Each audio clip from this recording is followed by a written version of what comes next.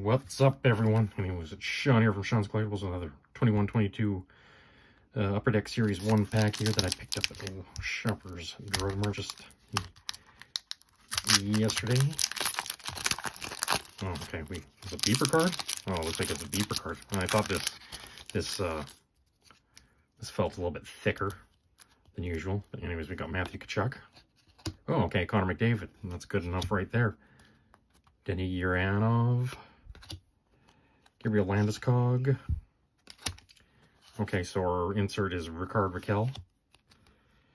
We got uh, Jordan Eberle, Joonas Donskoi, and Colin White. Okay, a beeper card. That's the first. I've never seen these in an Upper Deck Series 1 pack from Shoppers before, but uh, it is what it is, though. But uh, bit of a two-hitter. A Rickard Rakell canvas and a Connor McDavid base. So either way, we're doing good.